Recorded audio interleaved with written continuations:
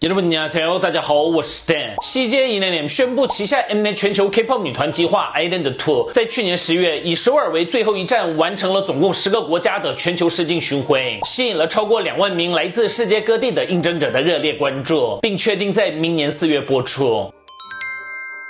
而在这一季，The Black Label 的 Teddy 将以主要制作人的身份参与。Teddy 曾在2020年被美国 Billboard 选为二十一世纪最杰出的五十位制作人之一。目前为止，他制作了 Big Bang、Twenty One、Blackpink 以及歌手 Somi 等的热门歌曲。尤其 Blackpink 几乎是 Teddy 一手制作的女团，所以网友们都非常期待以 Island 图出道的新人女团与 Teddy 会带来什么样的协同效应。而通过 Island 图诞生的女团，将成为西街 ENM 旗下品牌 Wake One 的。艺员维捆旗下目前有 c h e r b a s One、Kepler、塔比奇、秋玉里、金杰湾等艺人。另外，Island 的第一季在二零二零年九月结束后，发掘了 Hype 旗下男团 NIP。一直等待 Island Two 什么时候开始，终于要开始了。那么这次就像 NIP 一样，带着 The Black Label 的练习生，透过选秀节目出道，成为 Teddy 的女团，然后由 The Black Label 和 CJ 旗下的品牌共同运营。几年后，CJ 抽出自己的股份，最终由 The Black Label 吸收，就像 p i l i p l 被 Hype 完全接管一样的情况。阿香该不会在这里出现吧？实际上，这里才是真正的 Blackpink 妹妹团吧？只是由 M N 和 CJ 担任 YG 的角色而已。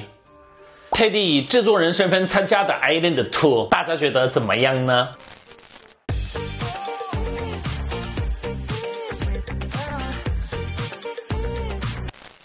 根据媒体报道，阿联吉明 P、琼谷等人将在十二月十一号至十二日入伍。首先，P 将在十一号前往洛川训练所，他申请了在韩国简称是苏邦萨的陆军首都防卫司令部队。这个部队是，如果首尔市发生了恐怖袭击等事件，将会在三十分钟内出动执行反恐任务的重要部队。而且，P 申请的不是一般的首都防卫队，是首都防卫特殊任务部队，也就是之前在综艺《钢铁部队》出演过的 SDT 部队。